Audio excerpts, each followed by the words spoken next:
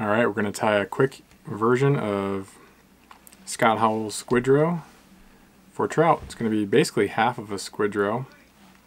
Going to use some familiar items here. In the vise I've got a Waddington 25 millimeter shank. Senyo's intruder wire for size 6 hooks or larger. Some owner side drifting hooks in size 4. Our first material we're going to go with some, most of the body is going to be Angora goat in different colors. We're going to go with some yellow to start. And we'll get off a little pinch of this. Just a little pinch of Angora and I like to kind of pull it apart and line up all the fibers.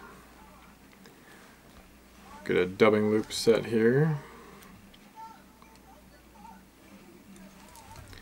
This will be kind of the rear of the fly. Most of this body is going to stand up nice and make for a, a nice prop for rubber legs and material towards the end of the fly. We're going to go ahead and pinch, spin. And for this fly, for the Angora goat, I will pick it out a little bit, help it stand up.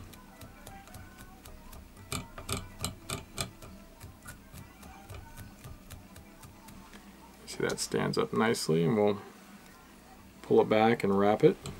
Pretty tight turns.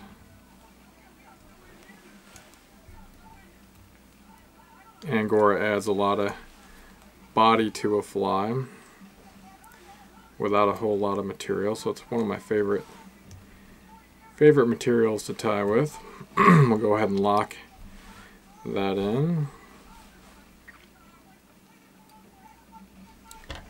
trim it off. Next we'll use about the same amount of orange Angora goat. We'll go maybe just a little bit more.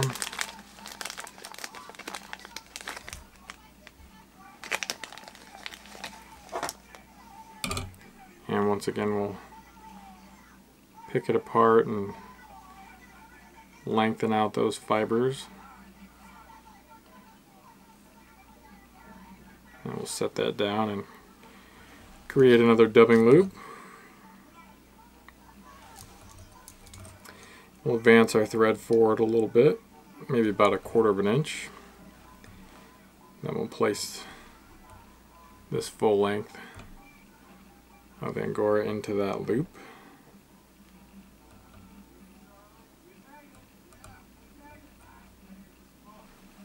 I'll go ahead and pinch and spin. And we'll pick that out.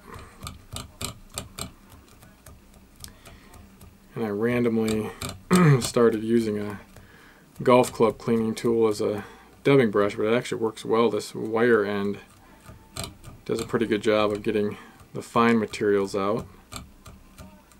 So I'll alternate between those two. We'll do the same thing, we'll go ahead and wrap this tight but also advancing forward. And with this Angora you can use any color combo you like.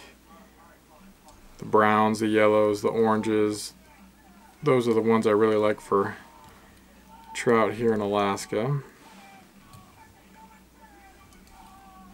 And we'll lock that in. You can see that kind of almost like a sunburst kind of color to it. Next we'll take some rubber legs and my favorite ones are these Wapsi Sili legs in pumpkin green and orange. And we're going to go with two at a time, so I'll cut off two at a time here. And we're basically going to, in total, put eight legs around this fly, but what we're going to do is take the very tips and we're actually going to tie these forward. So I'll move my thread a little bit forward, put those butts right up against that last bit of uh, Angora we tied in. So these two are on the, the side of the fly going forward, basically on the top.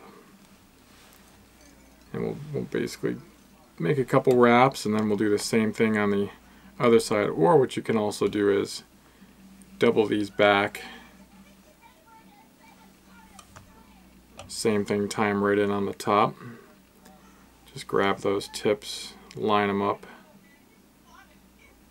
time kind of on the top and slightly on the side. Once you get those tips lined up, butt them right up against that angora that we tied in, that second piece, kind of pinch them on top and a few wraps will hold these. We're kind of on the top and just slightly to the side. And we'll end up cutting those off here shortly. Now we're going to rotate the fly to the underside. Same thing, we'll grab two legs. Grab two legs here, which of course eventually becomes four. We'll do the same thing, two on, we'll butt those butts together of the rubber legs, them right up against that angora, a couple, couple wraps to secure them. And so those are kind of on the bottom towards me those two are. So we'll actually grab those legs, butt them up, kind of on the bottom towards the camera, butt them right up against that angora, a couple wraps, and we're good. So now we've got legs tied all the way around the fly, forward. We're just going to grab the butts of these legs and wrap all the way back to where that angora was. We'll rotate our fly. And we'll try to cover those butts up as much as we can. If not, it's totally fine. So we'll leave these legs forward. They shouldn't get in the way, but if they do, you can always wrangle them with, with some pipe cleaners. Just kind of lock them in there. We'll go one last little bit of Angora goat. This one's going to be a little bit more of a brown color, kind of a rusty brown. Good pinch of this stuff. The goal of this is to cover up those legs. We'll do the same kind of thing here, lengthen these, get those all situated.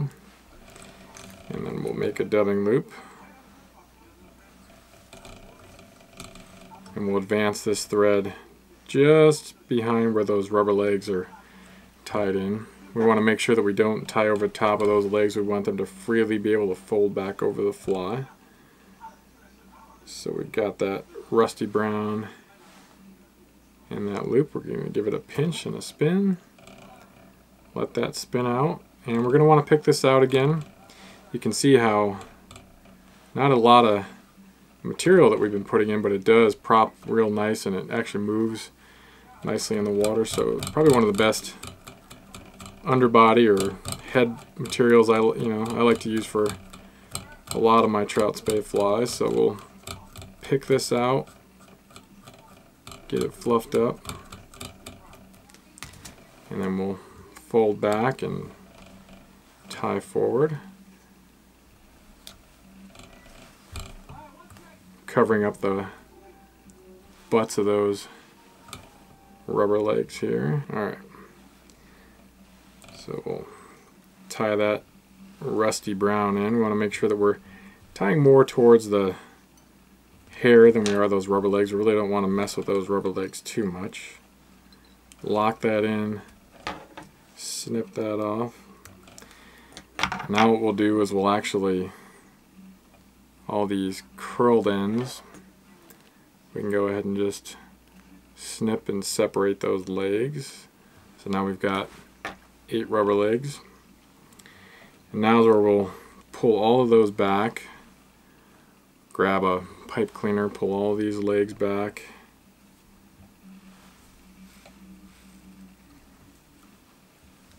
And just kind of secure that back.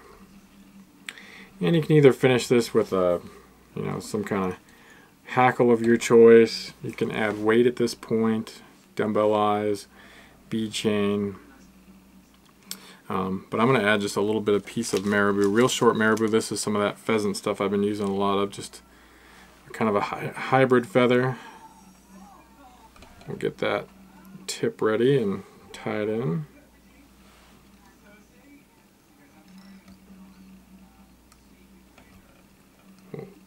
Really tie that tip in and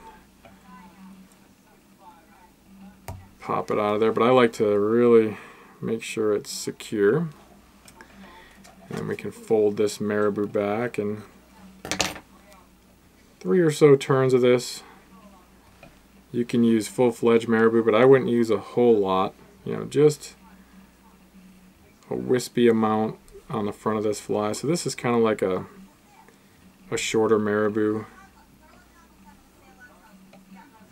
And we'll go ahead and lock that down. Fold everything back and tie right up tight against that stem and we'll clip that stem out. And now I really like to wet everything down, make sure I get that stem nice and close. And then form my head.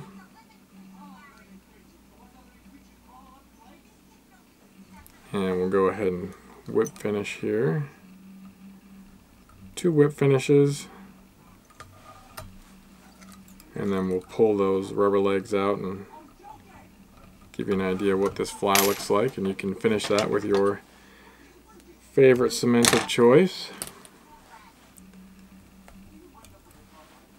Looking good. We'll go ahead and pick this out with our brush. Get that nice, nice and flared out. You can see that cool sunburst kind of look on that underbody, that orange and yellow.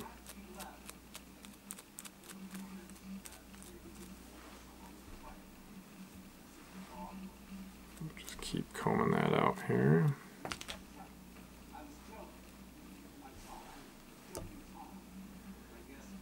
And we'll see what the half squidro looks like. Like I said, this is kind of kind of copied from Scott Howell's steelhead pattern, the squidro, and uh, it's going to have a lot of great motion with those rubber legs and that underbody with the, those hot spots and color. Just a great profile, real easy to tie, lightweight materials, easy to cast. It's a fun one for trout. Thanks for watching.